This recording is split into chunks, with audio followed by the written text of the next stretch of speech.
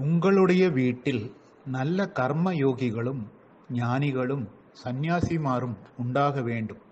இதற்கு ஆசிரமத்தை குறித்து எல்லோருக்கும் தெளிவான புரிதல் இருக்க வேண்டும்.